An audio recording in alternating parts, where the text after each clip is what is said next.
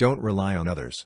You should never expect others to do it for you, not even your partner, friend or boss. They are all busy with their own needs. No one will make you happy or achieve your goals for you. It's all on you.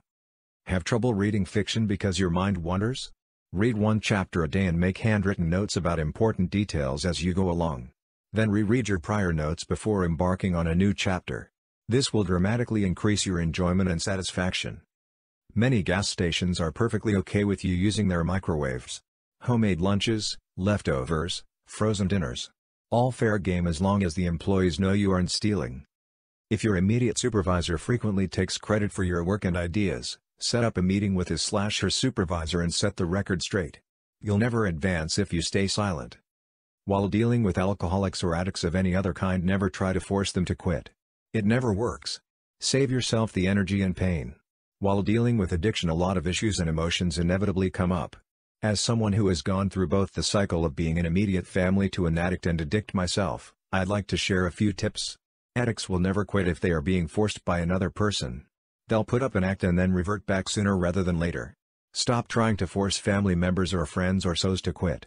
Coaxing works better than force most times. Sometimes it doesn't work at all.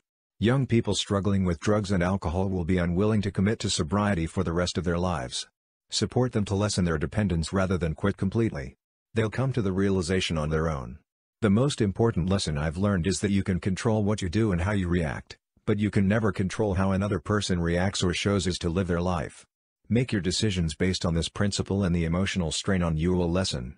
The best path I've seen is to give occasional advice to addicts, remind them of health hazards and the emotional strain it puts on their relationships. Don't berate them every single time.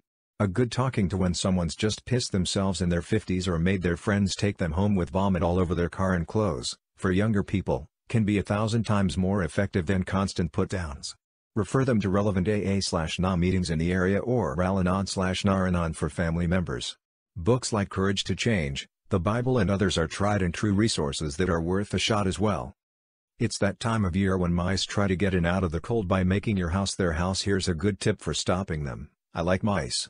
I think they're cute if I saw one out in a field I'd pat him on the head and give him a piece of cheese what I'm not a fan of is going into my basement to get my Christmas decorations and finding that there was evidence that they have been taking up residence in my house. And judging by the amount of excrement, I'd guess it was more than one, so what do I do? Put poison out for them so they go back into the wall and die and their fat bloated little mousy bodies can rot to leave behind grotesque little rodent skeletons that I'll have to live with forever? Absolutely not. I'm going to get some wooden head slamming mouse traps to bash their tiny little skulls in and throw them in the trash. Here's where the tip comes in, standard wooden mouse traps are the tried and true method, they work great, no need to fuck around with these new age no-show or fucking electric mouse traps, and if you think glue traps are a good way to go you might need to talk to a professional because that's just sick. Anyway, take a good old-fashioned mouse trap and a toothpick and smear the tiniest little bit of peanut butter up onto the curled end. The copper piece that gets pushed down is shaped like a sleigh, it goes up and curls around, put it under the curl just a little smattering, enough for the scent. Then, take a single kibble of dog or cat food and hot glue it to the copper piece. I put the glue on the dog food, stick it to it, and then used a lighter to heat up the piece of copper again till it really set on there. Today I got home from work and my traps all had mice, all I had to do was open it to drop the mouse in a barrel and reset it, and then wash my hands. With the piece of food glued there it's not like just using peanut butter I used to go and find all my traps lipped clean it was so annoying when you glue the food there they need to try to yank it off or take a bite of it, which is enough to spring the trap.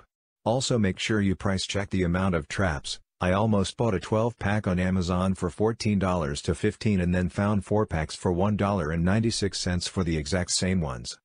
If you're doing any stressful traveling, have someone clean your house while you're away yes I know having a cleaning person may not be affordable for everyone.